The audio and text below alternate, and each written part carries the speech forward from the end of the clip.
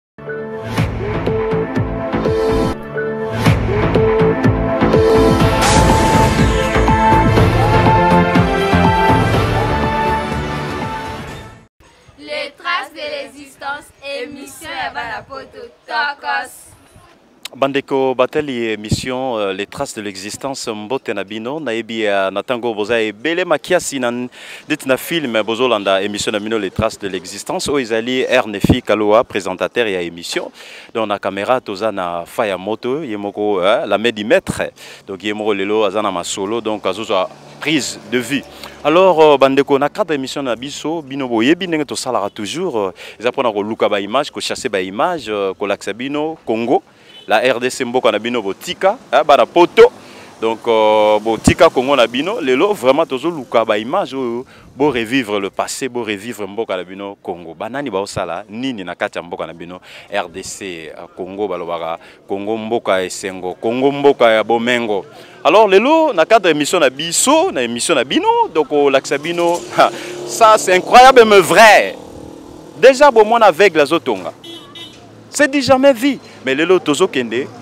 awa toza na kati ya na kati ya Njili, na Njili précisément toza na quartier 13, toyeko luka vraiment un aveugle, oyebi kotonga, za couturier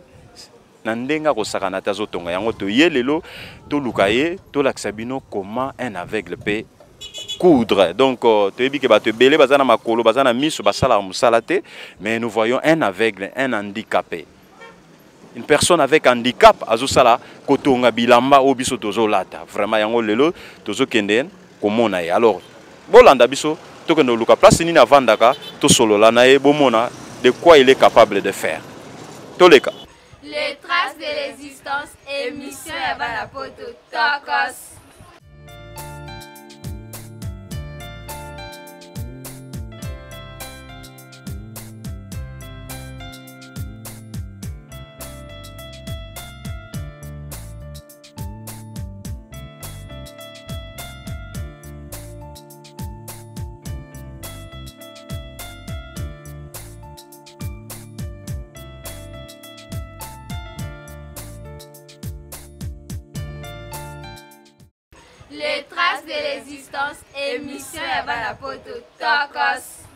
Eh, tokomi pembeni ya atelier na ye awa tokomi pembeni devant hein, atelier ya, ya totoloba aveugle azotonga donc couturier aveugle tokomi devant atelier na ye toko se permettre euh, tokota nao na kati tomona ye tosolola na ye tomona makambo nini nini abombeli biso na kati nini eloko nini ayebi kosala kokoko oui. ah, bonjour, bonjour. Euh, toza deja na kati ya atelier nde bozomona tokoti na kati ya atelier bana mai bana poto bozolanda biso toza na atelier awa eza atelier monene donc bozomona yango ndenge bozomona yango ya, ya maître david donc maître david toza na ye awa déjà azali vraiment une personne avec handicap nde tolobi aza aveugle mais maboko na ye très habile na ndenge akosakana te Donc euh, bonjour papa David. Bonjour papa. Esengo mingi pona koya komona o na na telio na yo. Ke toye awa euh, vraiment ki mona misu toyoki sango na yo ka musika donc euh, tofuti mpena babillet mpo tokóma place ozali mpo tolakisa bana poto eh, mpena kena bacongolais quand même ata handicap ezali mais batravaillaka toujours mpo baloba biso bacongolais totravaillaka te eh. est ce que eza vrai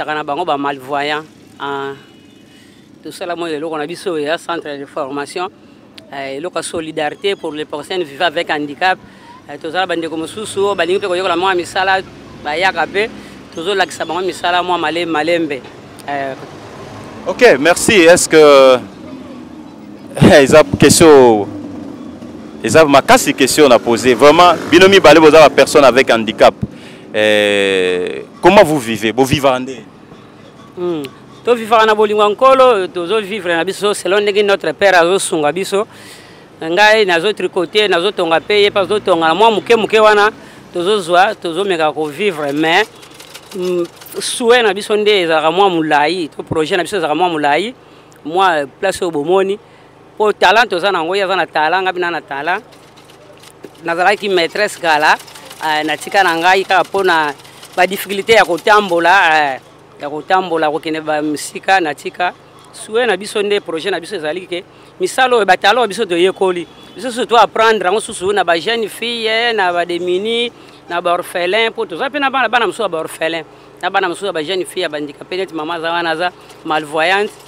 sikoyo tala place doyali espace na biso eza moke ah, susi na biso ke soki nzambe asunga nzambe asunga mwa partenaire bapartenaire so bamonani toliki mwa espace ya monene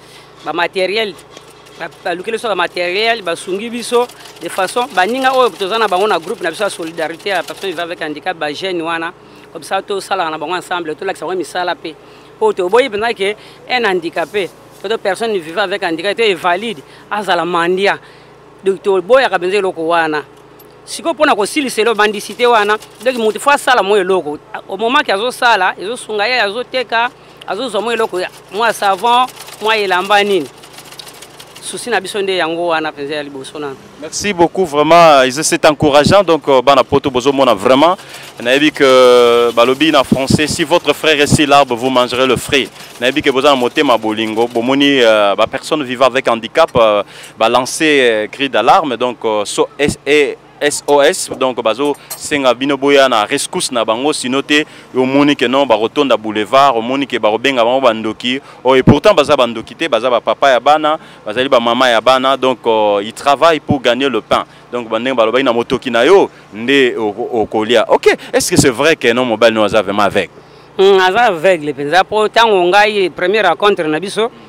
ngai naza kosala na centre ye mpe lisusu aye kokɔta na centre mokolo ye ayaka akutaka ngai te aye alobi ke aza aveugle baaveugle mosusu bazalaki wana badoute babikoma biso mpe toa baaveugle kutu totongaka te biso bamisusu toyaki mpe bacouturier totika bongo ndenge nini totongaka o ngai natongaka basalisi ye test mpe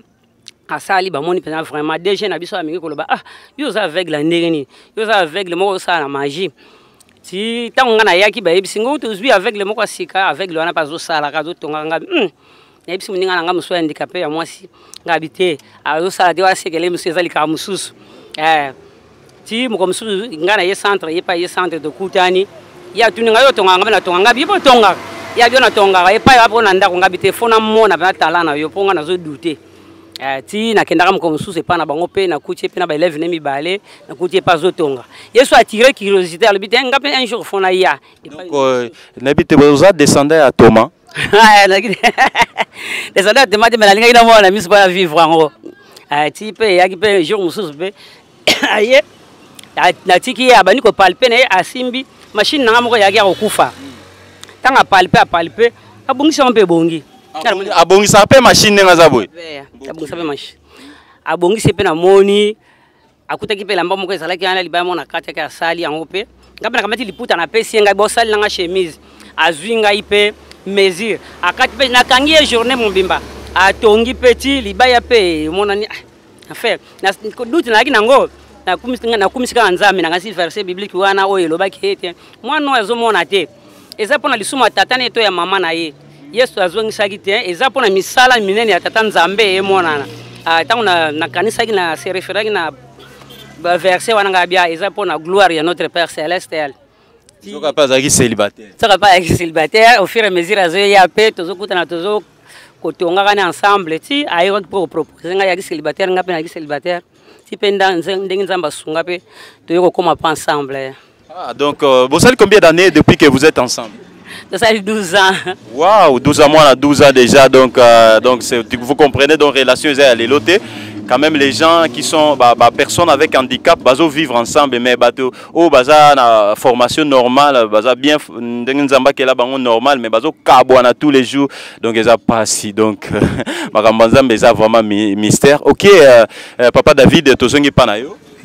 oyoki madame alobi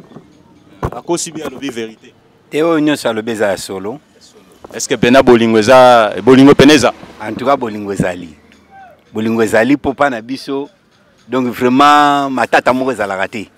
tanto ide ngai nakozala na yango so naza mpa mosusu nzoka ye mpe mpa ye azali aza na ide wana donc vraiment ntuka totambolaka na harmonie moko mpenza eh. eh, sikoyo oyebi ye oza mpe na image na ye oza na image ya elongi na ye bon comme naza non voyant image eza te mais donc nasantaka na mongongo so nangi mongongo na ye na sentir ke yanga aza pembeni oreconnaitraka bato ndenge nini yo omonaka te oyebi ndeti nga boye ngongo kaka bie eloko nini esalaka no otonga eloko nini oreconnaitre oyo ya yo oyo danger ezali ainsi de suite bon en tout cas euh, mingi akoloba mpenza ezali te koyekola ko, koyeba na nga kotonga nazalaki valide alors ntango nayekoli ti na meseni kotonga titititi ntango naye koma aveugle notion wana efandi na mutu donc notion ya kofanda efandi na mutu donc nabandi kaka komesana kaka bongo komesana kaka kobundabunda kaka bongo ti en tout cas tala wana mpe ekofanda libela Eh. Donc ça nalandi pe eza exercice donc à force de travailler okomi ko maîtriser nature okomi ko maîtriser nyonso c'est ça non Oui eza pe na bongo ah, Depuis que okomi aveugle donc bota mabongo te so nalandi Na bota mabongo te Avant à l'aveugle tu, tu faisais quoi Bon Dès le début le nabotamaki après 3 ans naye kobela rougeole. Ntango nabeli rougeole, lisu oyo ya droite eye kokufa. Ntango ekufi, en tout cas nazalaki entre la vie et la mort. Donc nayebaki eloko ti ti naye kokola nabandi mpe kotanga nasuki na 5e des humanités donc nakomaki mpenza pembeni mpo nakóma na sixième nazwa diplôme mais lisu oyo ya gauche ebandaki nabandaki kosentir déjà flou bakoki kokoma makambo na tableau moyen natanga yango eza te ti ebandi kaka kokende bongo namoni kaka moyen te nakati classe kokata na ngai classe nabandi koyekola bamisala premier mosala na ngai nayekolaka meniserie deuxième naye koyekola maçonnerie troisième naye koyekola ferrayage ti naye koyekola mécanique mais esimbaki kaka te sukasuka namoni kaka funa ayekola kaka couture donc naye comprenda mpe te eloko etindanga nayekola couture naye koyekola couture deux ans couture homme couture dame deux ans en tout cas ti lelo mpe nde nazotonga boye combien d'année depuis que misu nyonso ezomona te bon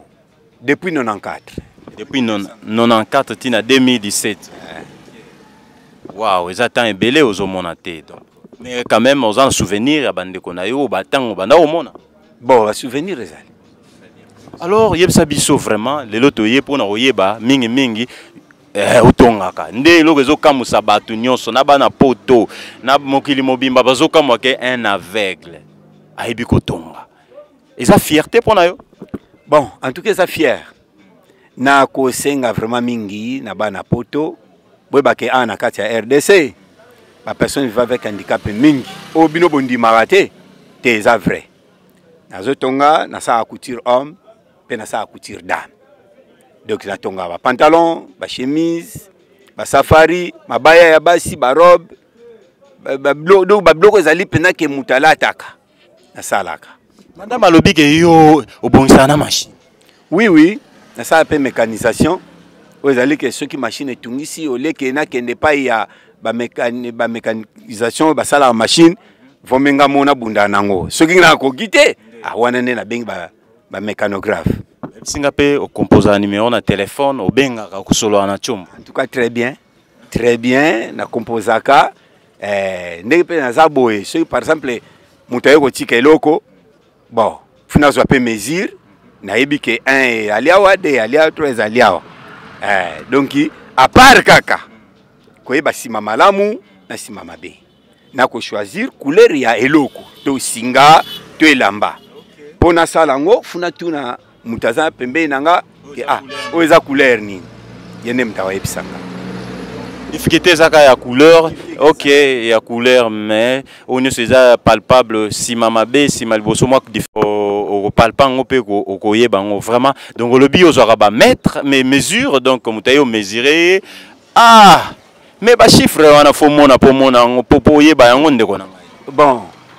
eh, fo nayeba yango ngai nasalaka toujours maître kaka oyo bato nyonso basalelaka maître riba kaka oyo bato nyonso basalelaka mais kasi lokola nayekola écriture écriture braille te yango nayekola yango te yango wana nasalelaka maître mais naza na basigne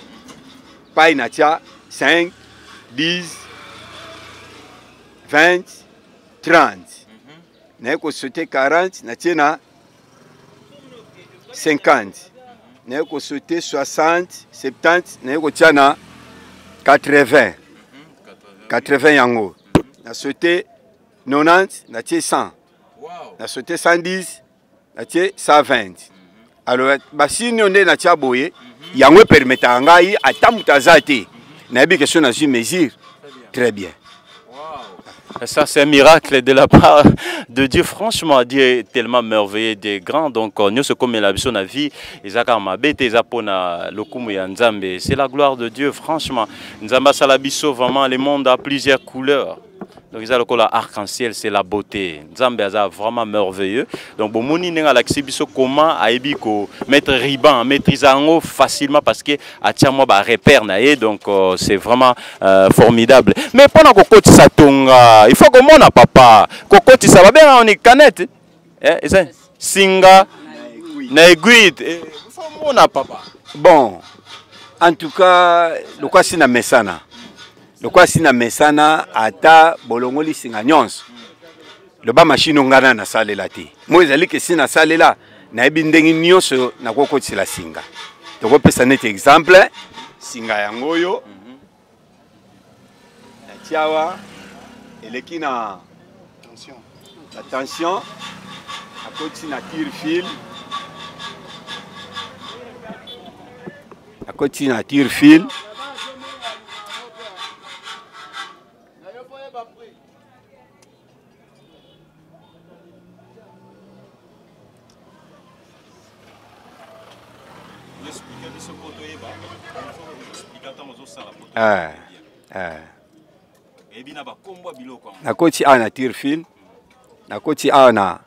na kale oyo mpo esinga ekimaka te sikoyo nazokotisa na tonga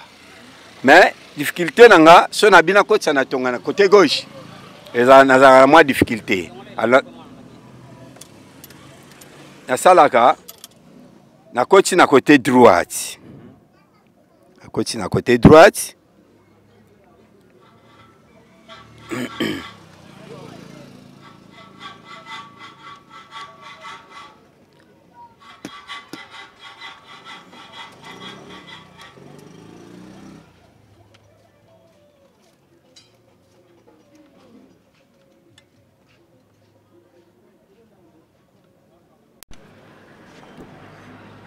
ezokota ezokota lo mpena kimona meso mpena batoma baza ebele awa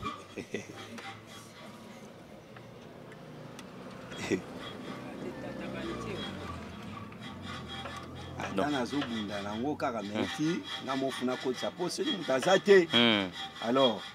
etungisa ngai vome kutuke ezala ke nga moko nabundana na kokotisa singa très bien ozobundana mpe naka ndenge olobi c'est pas facile hein?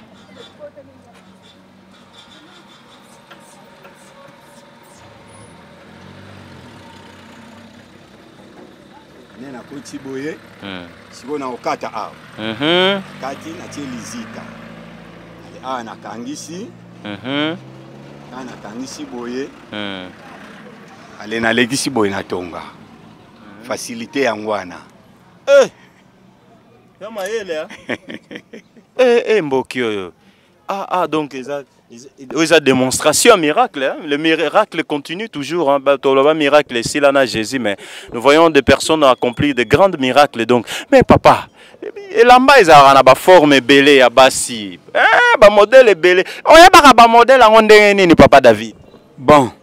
nayebaka bamodele soki neti moto aye kotongisa eloko tanto fo aya na elamba oyo modele oyo asepeli na yango soki aye na modele oyo asepeli na yango nakopalpe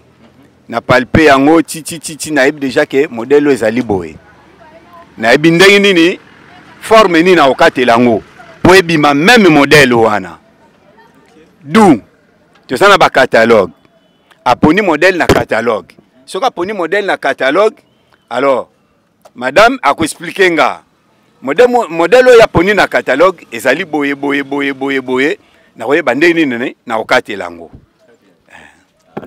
eza nde bongo eza bongo Ok, donc euh, ba midele eza ebele, donc euh, juste soko palpe okoyeba ndenge nini kosala. Mais ba mesure pona okata elamba papa. Okataka elamba lolenge nini toyeba?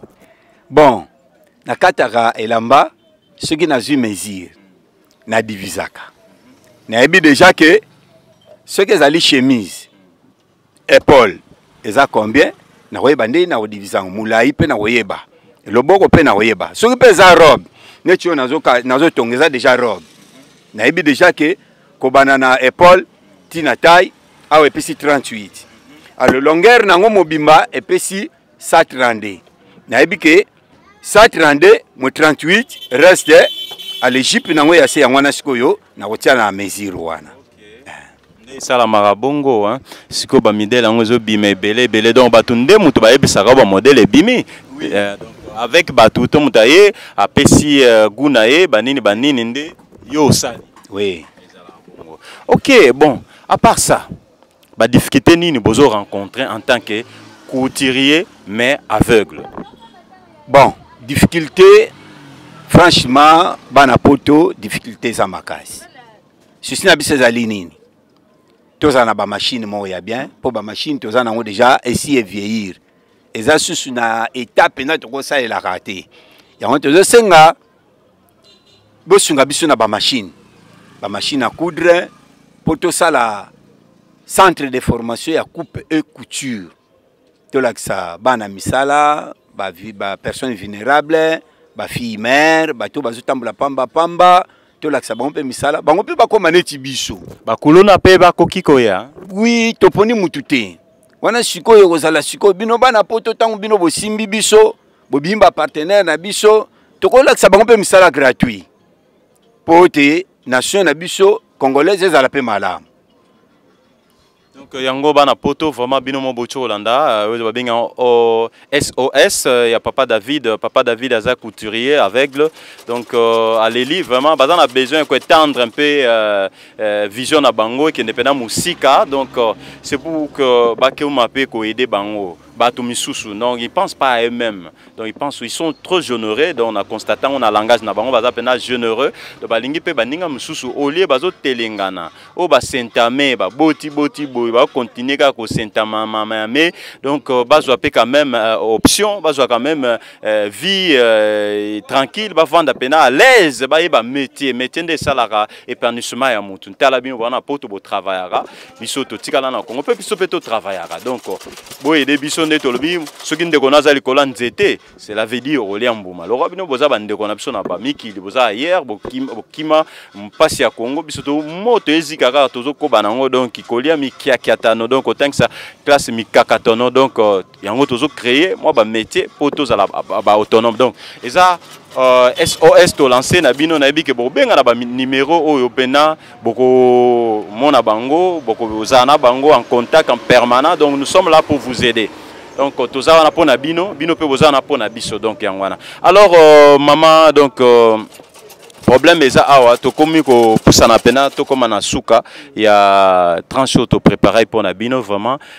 Euh, télévision ezali ngonga oyebi alors euh, tosepeli nde tomoni mpema eloko etike biso eza bolingo harmonie boza na yango euh, bato baza baza valide bazokabwana bazoswana na ndenge akosakana te mais quand même bino c'est bon vous êtes unis franchement c'est eza vraiment esengo etondi biso na motema alors mona yo okoloba na circonstance oyo toye na biso toyeli bino awa liloba nini ya suka oyo okoloba hmm, en tout cas mpo na boyei na bino komona biso ya liboso tokumisi nzambe topesi merci epai notre père céleste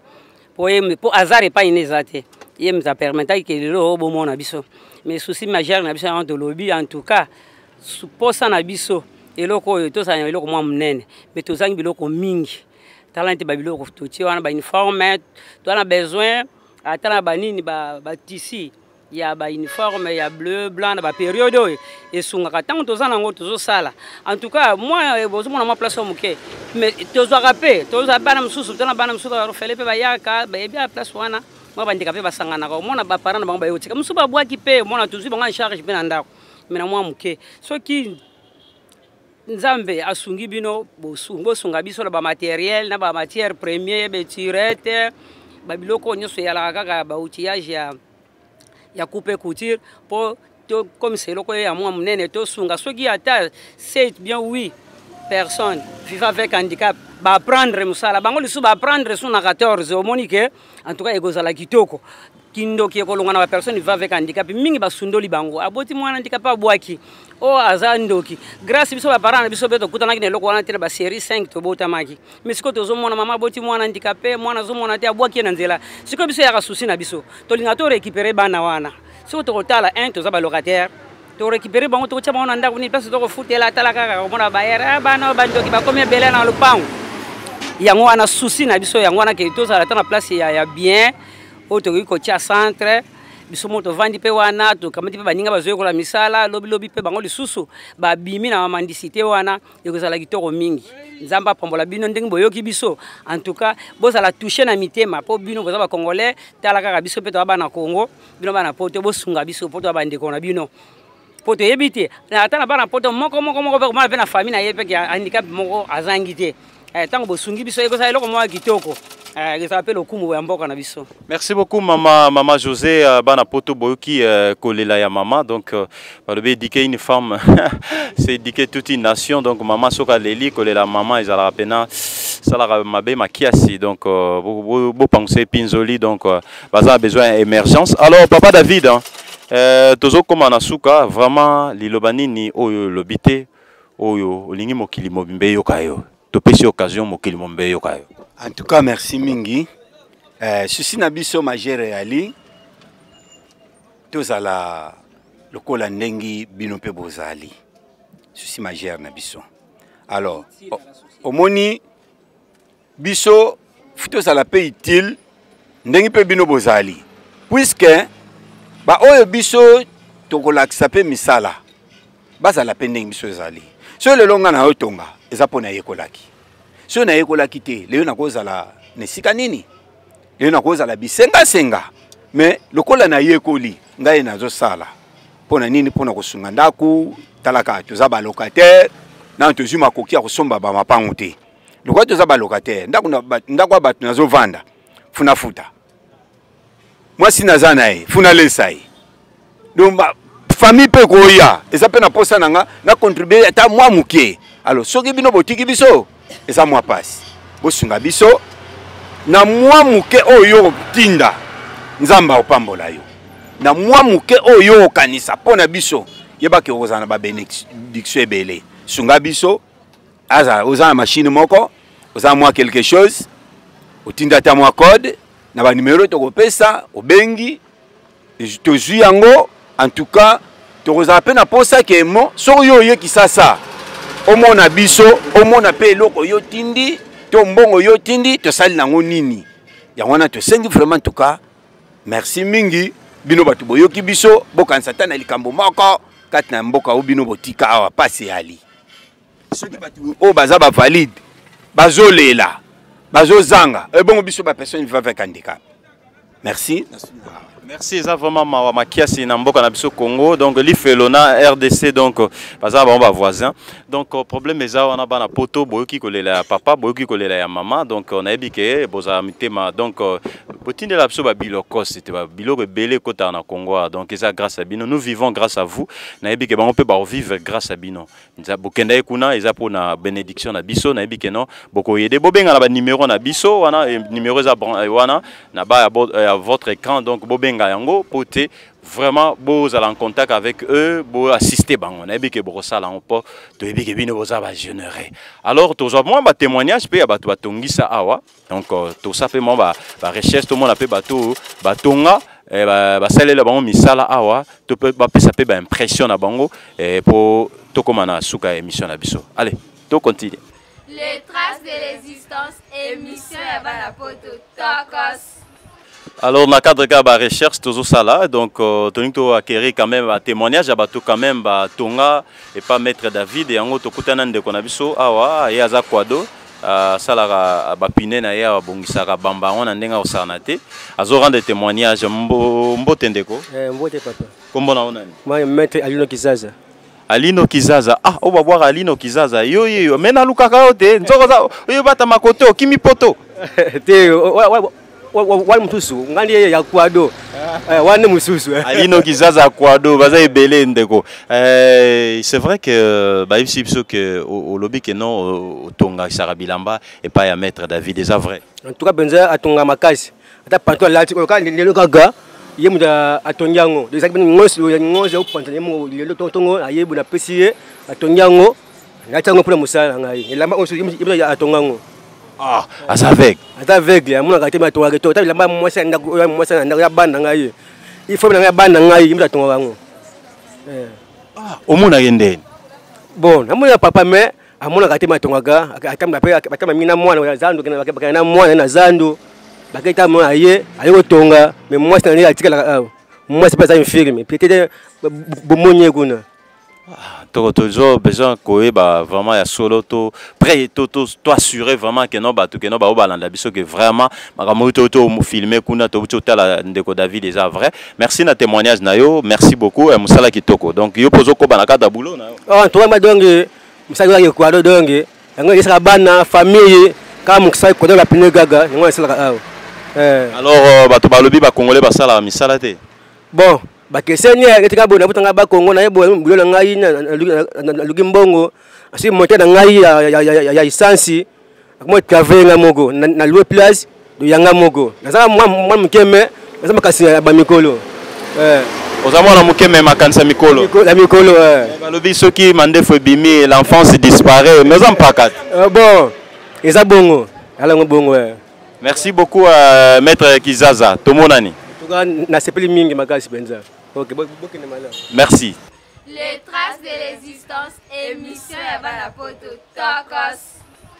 Merci bana poto na yebi ke bozaki ebele bolandi biso tokomi na terme ya émission na bino les traces de l'existence oyo ekambamaki par ngai mei Ernefi Kalua et puis na caméra ezaki euh, ye moko maître des maîtres donc Fabien Moto donc fire fire zikisa bango Donc euh, merci na attention pena particulière bozwaki mpo na kolanda biso vraiment merci alors nayebisi bino ke oyo aza besoin ayeba